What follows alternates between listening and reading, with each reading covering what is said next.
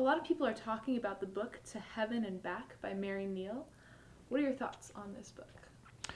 Well, I've talked before, written, blogged uh, about other To Heaven and Back type books. Uh, and uh, those include 90 Minutes in Heaven by Don Piper and Heaven is for Real by Todd Burpo, the account of, the, of his son when he was three or four years old, uh, his son Colton.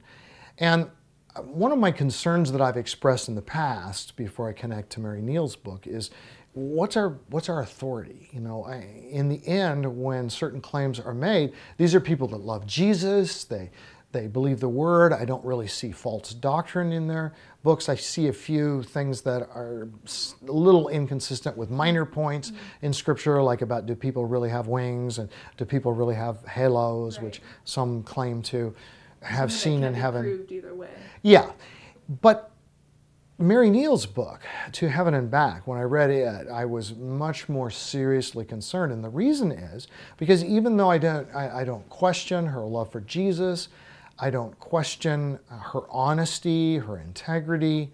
I, I think she sincerely re remembers what she's saying. She really believes these things were said to her.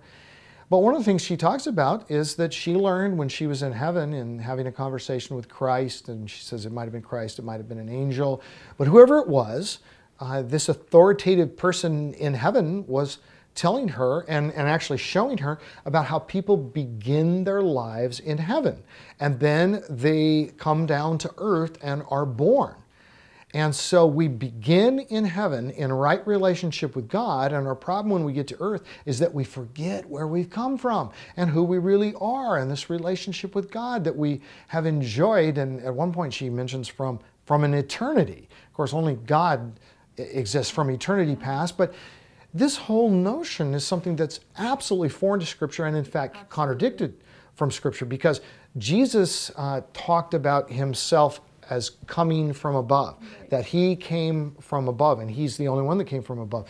Paul in 1 Corinthians talks about Jesus, the man, the God man, who came from heaven to earth, whereas we as human beings begin our lives on earth even as Adam began his life on earth. So this is something that's just flat out biblically wrong. You could say it's, it's a heresy it's false doctrine. Now you could say, well, that doesn't change a, a matter of salvation. Uh, right. You know, but so it's not as big a heresy as an utterly false gospel. But it does have some implications related to the gospel. For instance, do we really have a sin problem that alienates us from God? Is that where we started, or did we start in a right relationship with God, which we then forgot about? Well, is our real problem bad memory, or is our real problem that we are sinners in need of a relationship with Jesus Christ? And that does, you know, connect with the gospel. And is it true that Mormonism has adopted this theology of preexistence? Yes, absolutely. And in fact, um, Mormon Betty Eadie wrote a book, um, actually probably 20 years ago, called Embraced by the Light. And in it, she taught exactly this same thing that we begin our lives in heaven and then we come down to earth. And I knew as I was reading to heaven and back, boy, this sounds so familiar. And I thought, this sounds kind of like what I remember in Betty Eadie's book. Sure enough, I went back to it, and it's, it's absolutely full of it. Now, uh, Betty Eadie had much more false doctrine in her book, Embraced by the Light, than Mary Neal has in To Heaven and Back. But certainly, how much false doctrine is too much. Right. And, and, and one of the things that I really believe is Christian publishers, and this is from a Christian publisher, need to take the responsibility to have some careful theological editing and to really question and challenge. And people say, well, this is my story. This is how it really happened. Say, yeah, but it needs to be stacked up against Scripture.